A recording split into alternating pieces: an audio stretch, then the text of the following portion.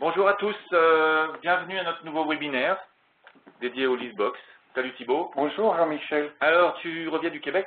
Oui, la semaine dernière, la dernière conférence euh, de la saison 2011-2012. Euh, en tout, 15 conférences, j'en ai fait 12. On a vu près de 900 développeurs, tout compris.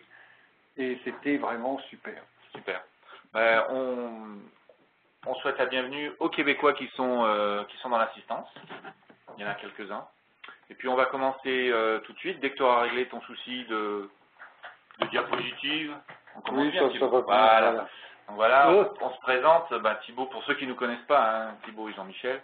Alors, euh, c'est toi qui disais euh, le qu'on était des clowns. Bon, je sais pas. Je ne suis pas d'accord avec Je suis gouré sur patron et sous-fifre, je voulais inverser en fait. Ok, allez.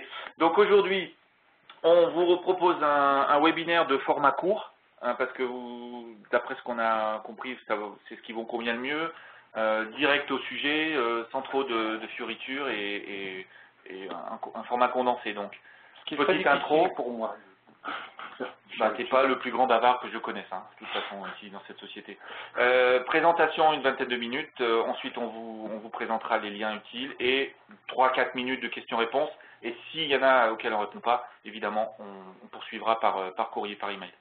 Alors, pour saisir vos questions pendant tout le webinaire, vous avez le menu en haut euh, vert qui vous permet de sélectionner soit la fenêtre chat, soit la fenêtre Q&A.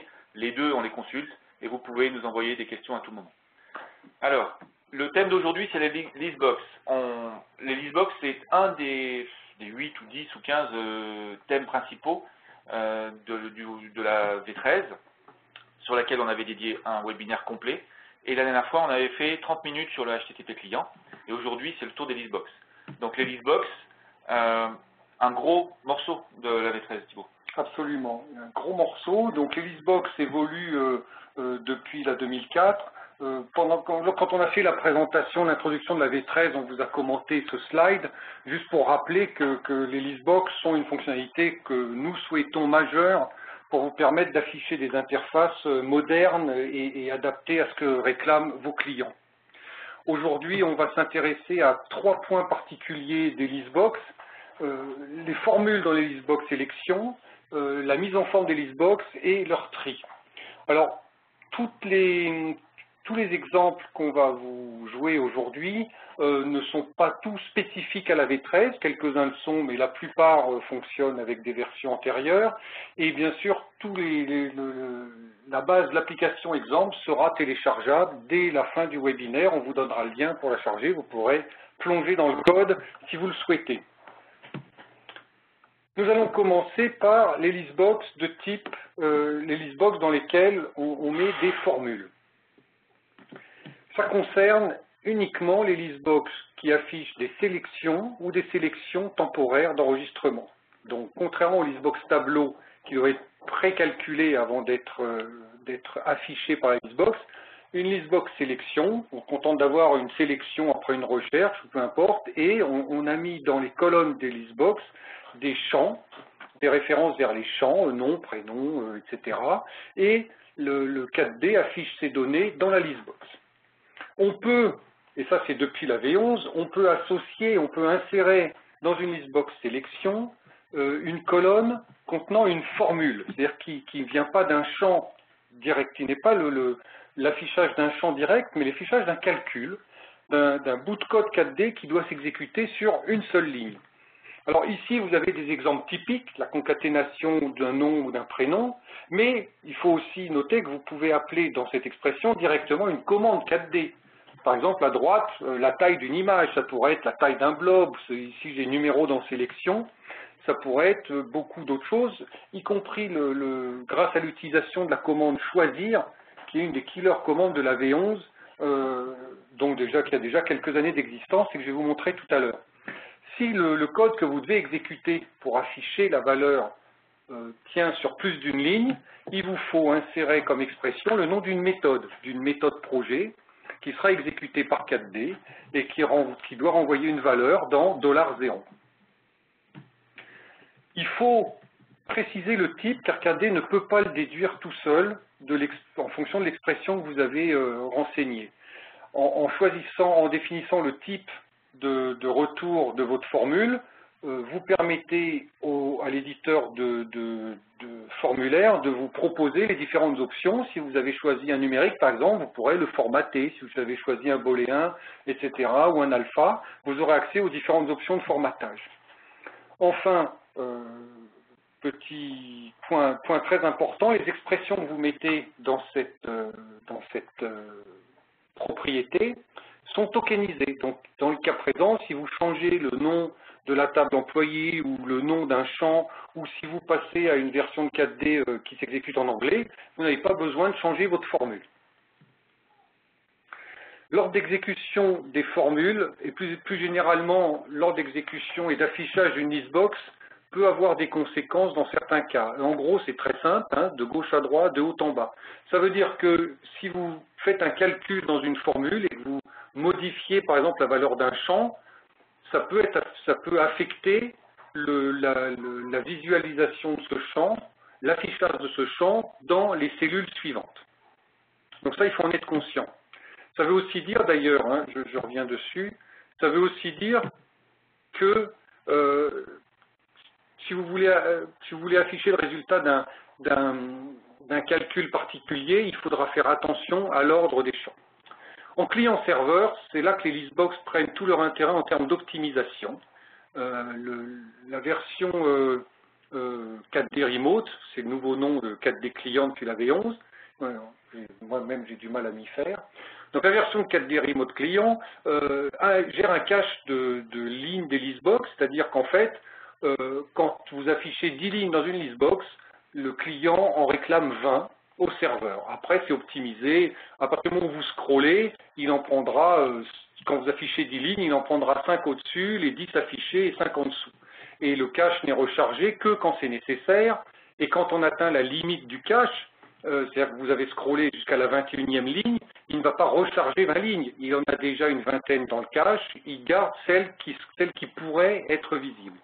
Ça veut dire que 4D fait énormément de choses en client-serveur pour que ce soit très très optimisé. En l'occurrence, quand vous affichez une sélection qui, qui, dans les colonnes contient des, champs, euh, une seule requête est envoyée au serveur qui renvoie que les champs euh, concernés par la listbox. Il ne renvoie pas tout l'enregistrement. Si vous avez un enregistrement employé avec 50 champs et que vous affichez juste le nom et prénom, ça revient un peu comme si vous aviez fait une sélection vers tableau du nom et du prénom. Donc ça veut dire que dans vos formules, il ne faudra pas mettre de, requêtes, de choses qui peuvent être particulièrement lentes et qui euh, chargent le réseau, car la formule, dans ce cas-là, sera exécutée pour chaque ligne du cache et vous pouvez, si vous avez beaucoup de clients connectés ou une formule très compliquée qui va calculer quelque chose sur le serveur et le retourner, peut ralentir l'affichage de votre listbox. Nous allons passer à quelques exemples illustrant ce que je viens de décrire.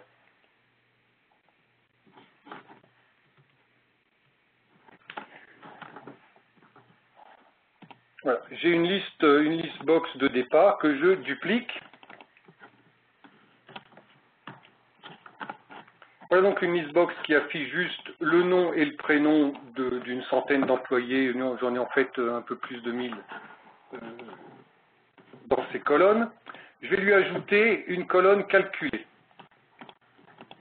Donc, je lui dis qu'il a trois colonnes. Et je lui affiche, par exemple, le salaire. Donc, le nom de la variable d'entête, lui met salaire.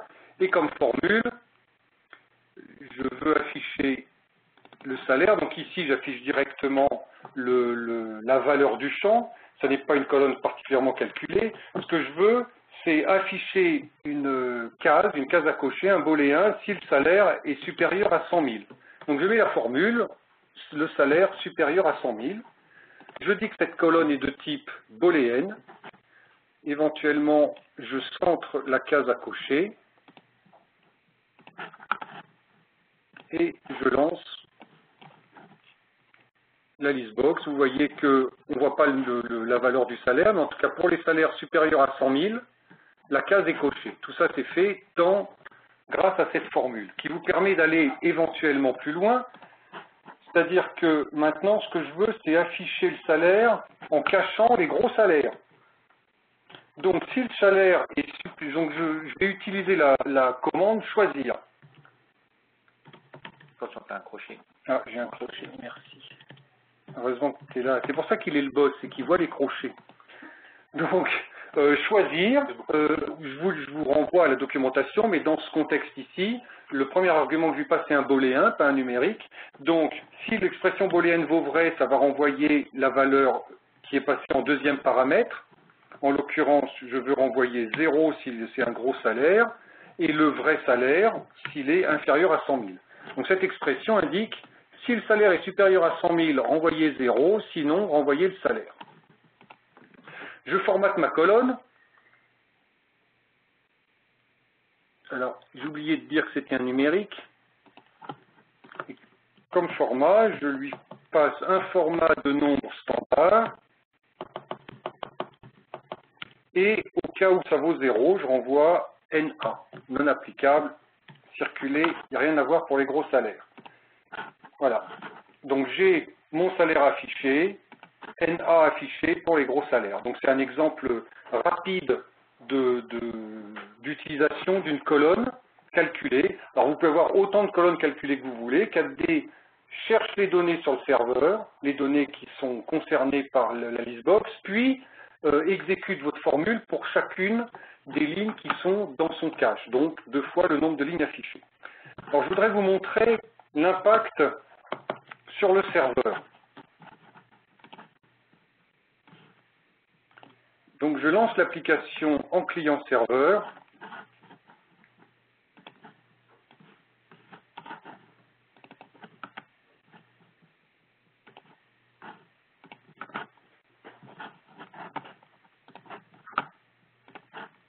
Voilà, j'ai ici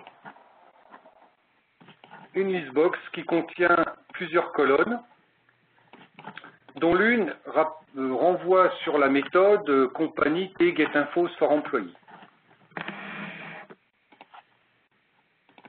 Qui fait, alors j'ai oublié de vous montrer la structure, bien sûr. Voilà, j'ai une structure employé compagnie classique avec un lien manuel. Donc, euh, 4D ne charge pas les sociétés chaque fois que je charge un employé dans une liste. Donc, je dois chercher ma société et afficher ici le nom et différentes valeurs. Donc les voilà. Si j'active le log des requêtes sur le serveur et que juste je scroll, donc à certains moments le cache va réclamer au serveur les données, j'arrête l'historique des requêtes et je regarde le compte rendu.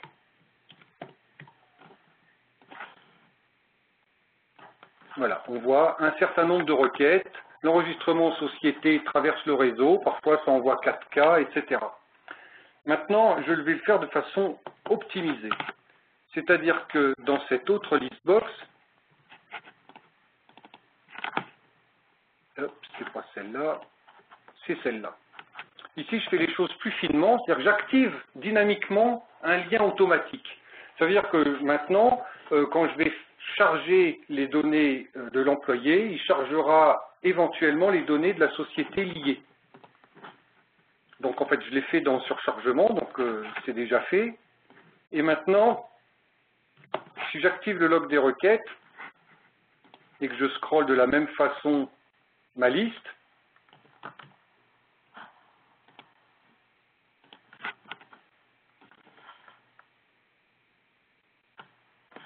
Non, c'est pas celui-là. Je l'ai pas ouvert. Hein. Ah bah oui, c'est celui-là. J'ai eu un petit moment de doute. Voilà. Donc vous voyez la différence. Juste exactement. Et encore là, j'ai scrollé sur peu de valeurs, etc. Donc c'est très important de prendre conscience que vos formules euh, peuvent ralentir tout votre système. Le, ce qu'il faut, ce, ce, dont on peut se rappeler, c'est que euh, à partir du moment où une formule contient un accès à un champ qui est déjà naturellement chargé par 4D, donc en l'occurrence ici j'avais activé les liens, dans ce cas-là, oui il y a le webinaire effectivement, dans ce cas-là, euh, dans ce cas-là, oui, 4D ne va pas renvoyer tout l'enregistrement société, tout l'enregistrement employé. Il vous suffit d'avoir défini les champs dans vos méthodes pour que 4D ne renvoie que les champs euh, nécessaires à l'exécution de son code.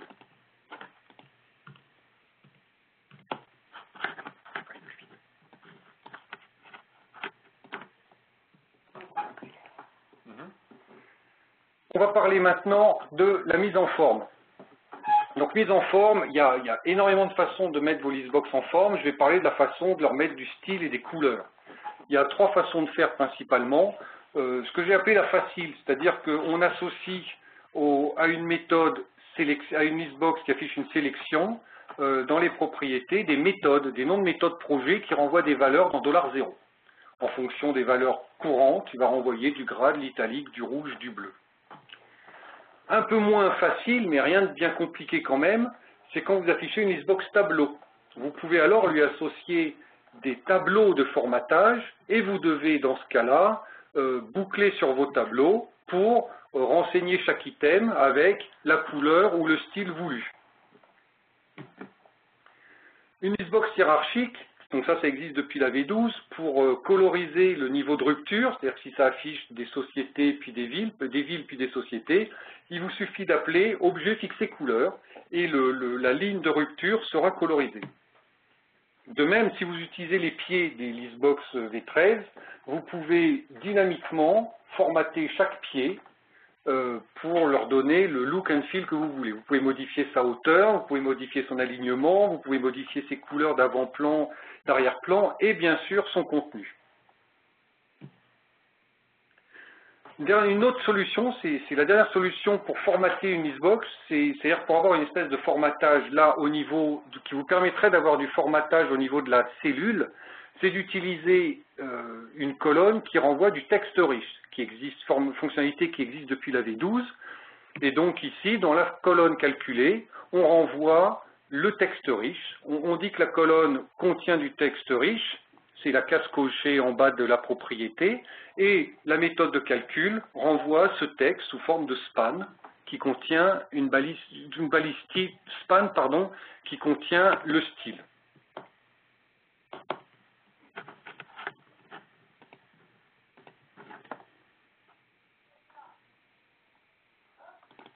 Voilà donc la listbox qui affiche des tableaux pour lesquels, ici, vous voyez, je mets certaines lignes en gras, euh, des couleurs de police en rouge et des couleurs de fond de toutes sortes. Le code est exactement celui que je vous ai montré euh, dans le slide. Pour euh, changer la couleur ou le style, on change chaque élément du tableau associé à la couleur ou au style. Pour une listbox hiérarchique, le principe est le même. Voilà, je peux changer le style des ruptures juste en appelant objet fixé couleur. Voilà. Vous avez aussi ce code qui sera disponible, donc vous verrez, ça c'est RGB Toulon est juste une utilitaire pour coder sur un entier long la valeur d'une couleur. Listbox sélection ici, dans les propriétés, j'ai donc mis différentes euh, méthodes qui renvoient une valeur selon le montant du salaire, par exemple, ou selon le montant euh, du, oui, selon le montant du salaire ou selon le montant du, chiffre d'affaires qu'on fait avec la société. Donc voilà, quand je, je, mets en gras en fonction de la ville, c'est les villes à Paris qui sont en gras, euh, je colorie selon le salaire, donc en bleu les gros salaires, etc. Et le chiffre d'affaires en fonction du chiffre d'affaires. Donc on peut mixer pour avoir une couleur de fond, une couleur d'avant-plan et le style. Enfin, le dernier exemple, c'est eh bien, c'était celui-là. Donc celui-là, c'est juste que j'ai rajouté, rajouté un pied calculé euh, qui a juste une petite ruse, puisque j'affiche ici tous les employés et leurs sociétés, je ne peux pas faire la somme de cette colonne, parce que les, valeurs sont, dupliquées, puisque plusieurs employés travaillent pour la même société. Donc, ça se fait en fait ici. Ma, variable de, pied s'appelle R Sum Revenues, et je, fais ma jointure sur les employés, et j'affiche le libellé total et la valeur de ce total, tout en ayant formaté le pied.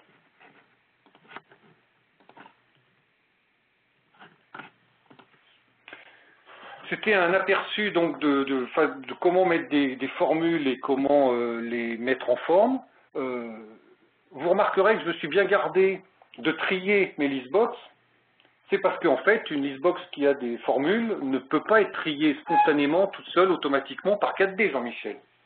Bah, disons que, a priori, mais concernant le tri, on va essayer de voir tout ce qu'on peut faire euh, avec les, les listbox tu sais que dans la vie, il y a différentes, euh, différents nombres magiques. Euh, il y a 42. Oui, hein 42. Il y a 3 en général. Hein, il y a toujours trois, euh, trois façons de faire les choses. Donc c'est pareil dans ce cas-là. Il y a, il y a la façon automatique, c'est-à-dire qu'on laisse 4D trier automatiquement la liste box. Alors c'est très avantageux parce qu'on n'a rien à faire. Simplement, évidemment, pour les colonnes calculées, c'est compliqué. c'est pas possible. Et puis en plus, on ne peut pas faire de sous-tri, c'est forcément une colonne à la fois.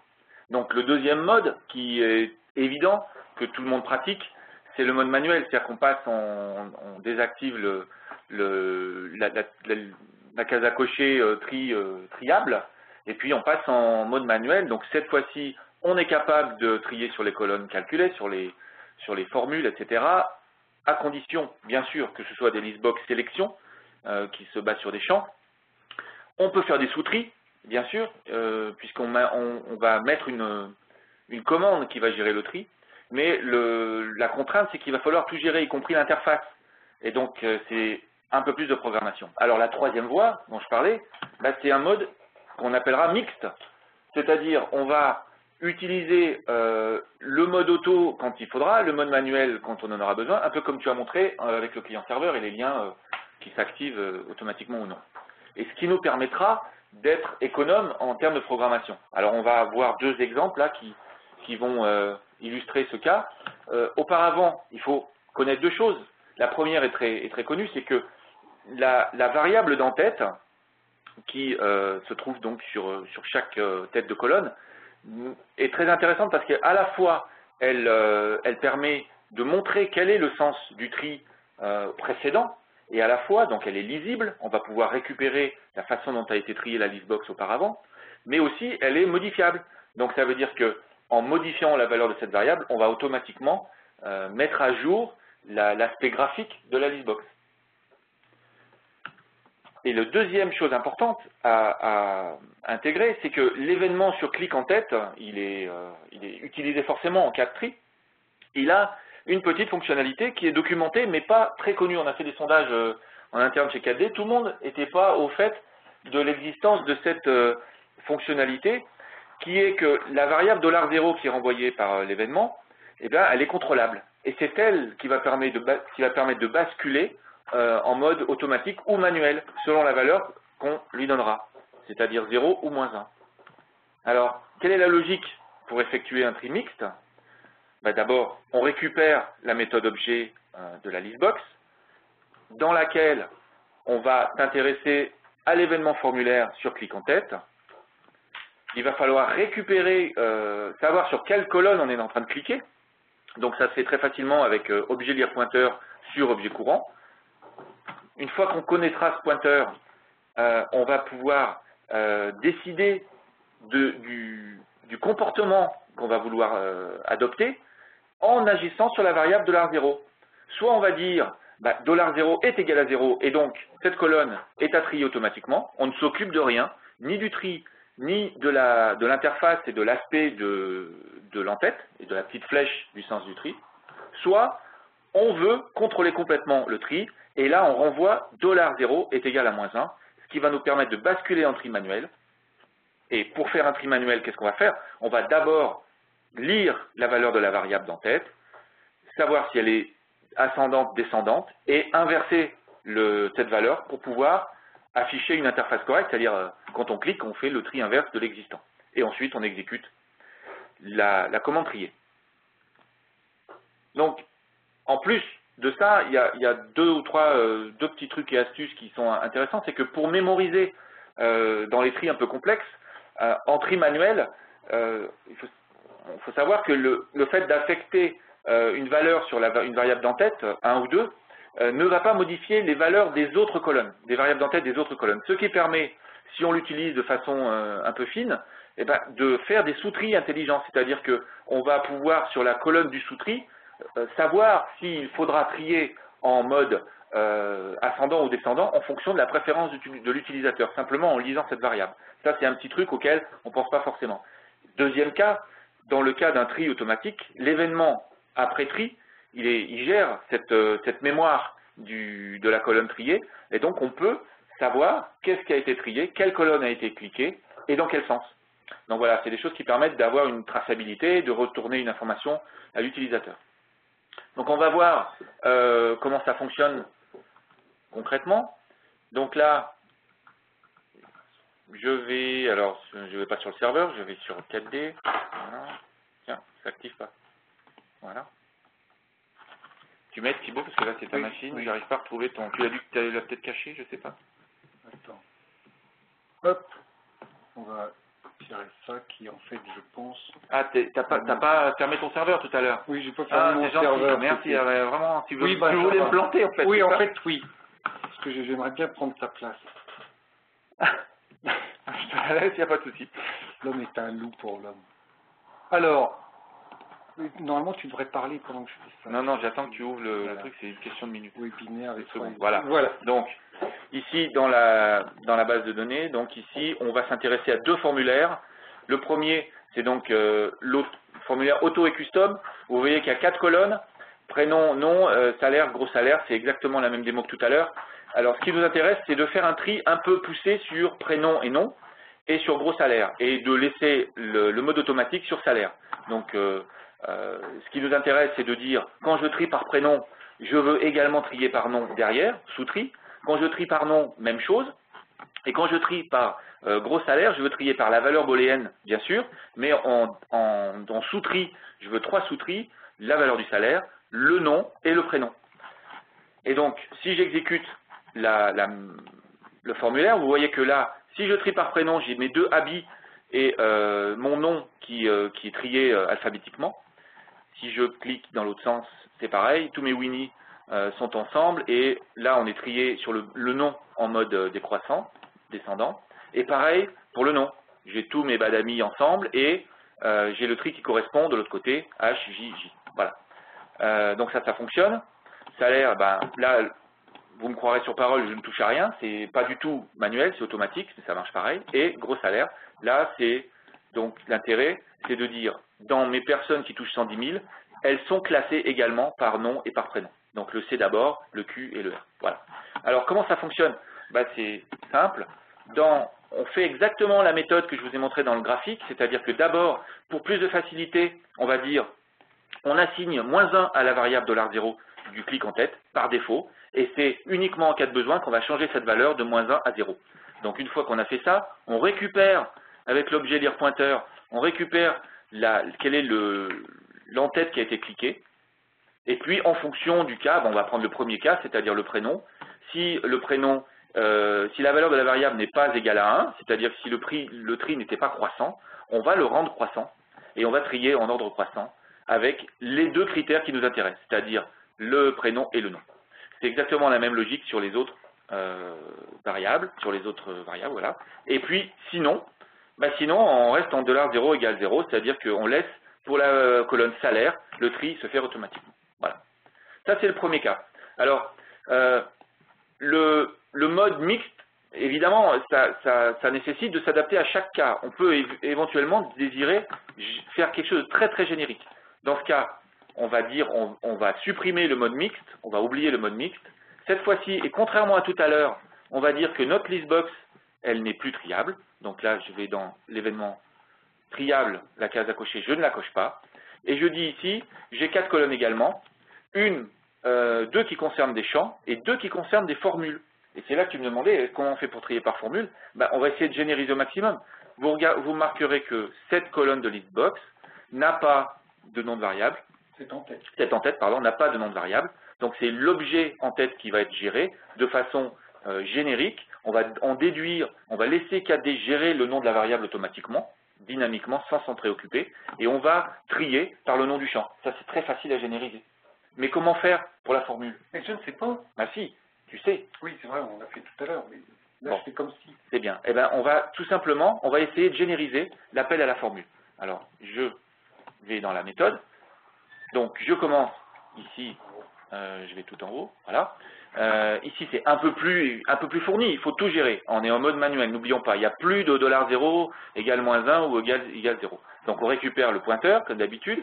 Cette fois-ci, le pointeur, la variable n'existe pas. Donc, on va on va déjà récupérer le sens de tri et on va surtout récupérer l'indice de la colonne. Quel est le numéro de colonne qu'on a cliqué grâce à l'objet.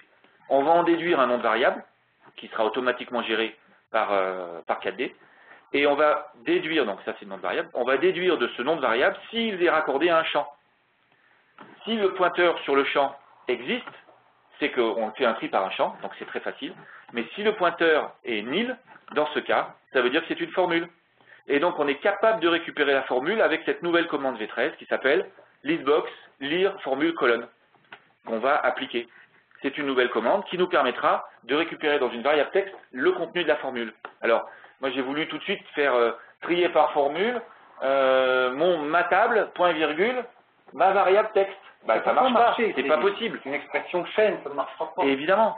Par contre, il y a une astuce excellente et qui fonctionne et qui est optimisée depuis euh, un certain temps dans KD, c'est exécuter formule.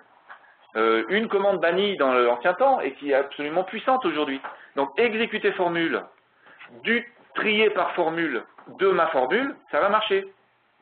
Et pour rendre ça complètement générique, eh ben, on utilise non pas trier par formule, mais le nom de la commande trier par formule, au cas où on change le nom plus tard, au cas où on, passe en 4D anglais. On générise également le nom de la table employée au cas où on, change son nom en, en tokenisation. On applique la formule ici, on la colle, ça c'est une variable texte qu'on met euh, directement dans la- la- l'exécution. Et on utilise encore choisir que tu as montré tout à l'heure pour transformer la valeur de tri booléenne descendante ou ascendante en un texte qui sera euh, flèche croissante ou flèche décroissante. Et voilà, et c'est fini. Ça c'est au cas où on a une formule. Et au cas où on n'est pas de formule, eh ben, on trie par le champ, le pointeur sur le champ. Et c'est tout. Donc là, je remontre, une fois qu'on a fait détailler la méthode, ben voilà. Là, je suis en train de trier par les différentes euh, formules sans avoir manipulé la formule elle-même. J'ai générisé totalement mon code. Voilà. C'est tout pour les formules. C'est bien. Ce qui n'empêche pas de, de faire un peu de finesse si pour certaines formules, on voudrait euh, un tri plus, plus fin. Voilà.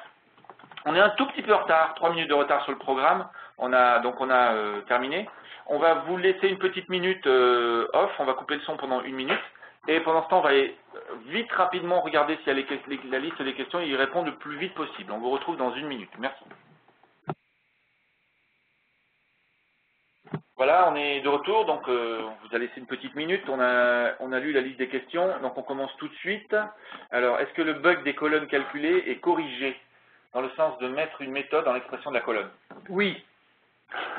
voilà. Bah, Tu peux développer Non? Bah, donc euh, c'est corrigé, c'est-à-dire que, que, euh, c'est ce que j'ai fait moi, c'est-à-dire que vous mettez, euh, enfin je ne sais pas exactement, à moins qu'on ne parle pas du Non, même bah, voilà, il y en a une précision. Ah, c'est celle d'après par le taille, même, taille blob, Oui. table champ blob. C'est-à-dire renvoyer taille blob ou renvoyer taille image fonctionne parfaitement. D'ailleurs- dans, dans la base de test, vous le verrez, parce que je me suis servi de ça. Il y a aussi une table dont on ne s'est pas servi pendant le webinaire aujourd'hui qui contient un blob.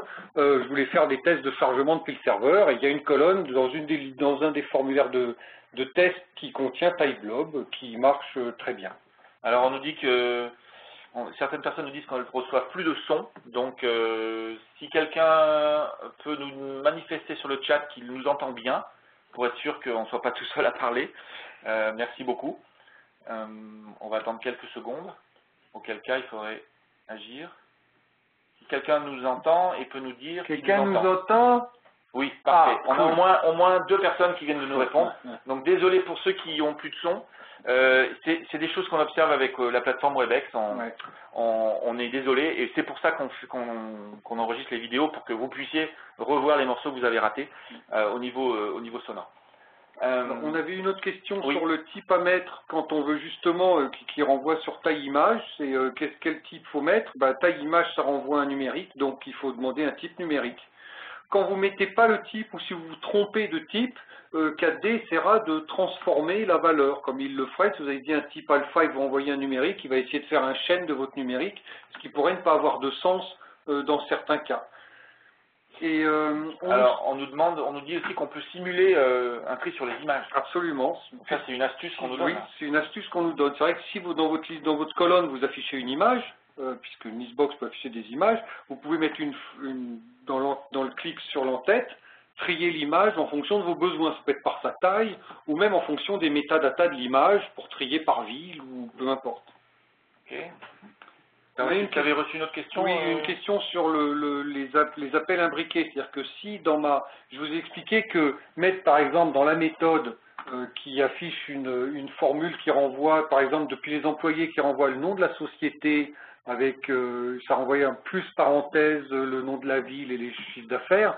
Si ces champs-là de la société sont appelés en fait dans une sous-méthode et une sous-méthode et une sous-méthode.